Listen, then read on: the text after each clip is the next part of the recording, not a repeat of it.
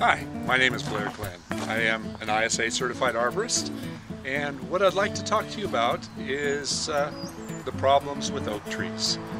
That's one of the uh, questions that I get asked so often. What's, what's wrong with my tree? Why is it going downhill?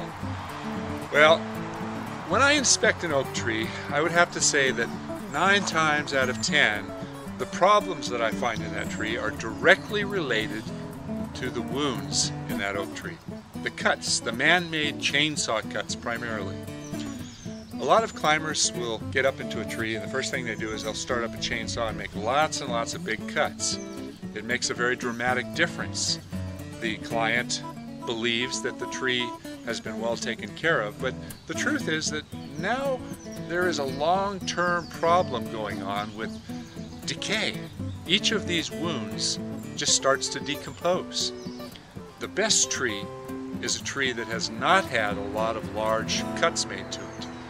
So keep that in mind. When you ask for uh, a climber or a tree company to come in and work on your trees, think about the way that it is done.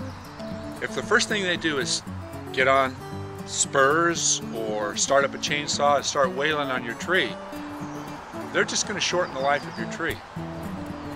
If they're going to be making lots of small cuts, handsaw cuts, pole pruner cuts, all the small cuts that are, are not going to end up being long-term large decay pockets, then your tree is definitely going to be in much better shape and will have a better chance for a, a long and healthy life.